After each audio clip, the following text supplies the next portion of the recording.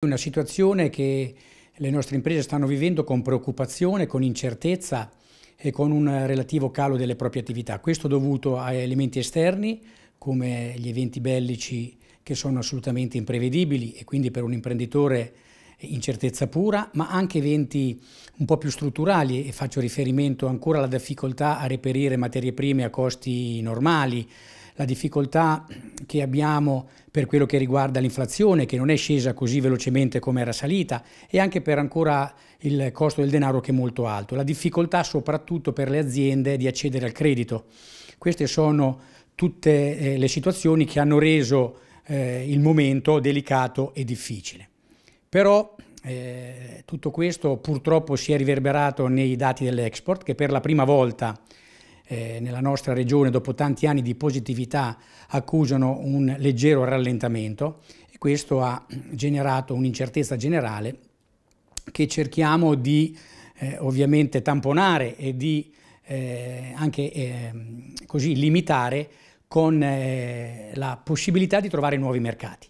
Lo abbiamo fatto anche come Camera di Commercio attraverso Tecne, l'azienda speciale che si occupa all'interno della Camera di Commercio di mobile e arredamento, ma anche di meccanica. E ultimamente siamo reduci da un viaggio molto importante a Singapore, eh, in cui abbiamo presentato una collettiva di aziende marchigiane del design e dei complementi di arredo. Ovviamente di altissimo livello, hanno avuto un ottimo successo i nostri imprenditori, tanto che ci hanno chiesto per il 2025 di prorogare questa opportunità e di ampliarla sempre di più.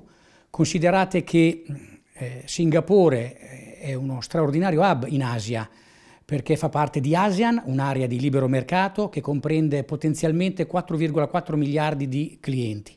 Quindi abbiamo bisogno di ridisegnare anche l'economia rispetto alle situazioni che la geopolitica ci presenta e come associazione di categoria, come Camera di Commercio siamo pronti a farlo. C'è un comparto produttivo che vi preoccupa più di altri e se ci sono invece alcuni che mostrano dati sorprendentemente incoraggianti?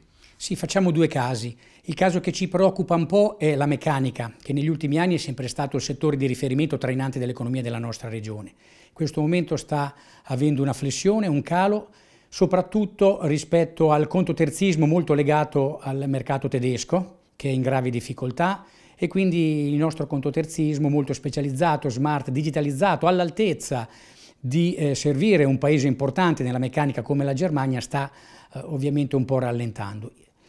In contrapposizione abbiamo dati molto convincenti e soddisfacenti per quello che riguarda la nautica, che nella nostra regione è diventato un settore di riferimento importante e stabilmente in crescita. Quindi eh, la speranza è che se uno degli elementi negativi che hanno determinato questa incertezza potesse nel prossimo futuro migliorare, i nostri imprenditori saranno ancora protagonisti.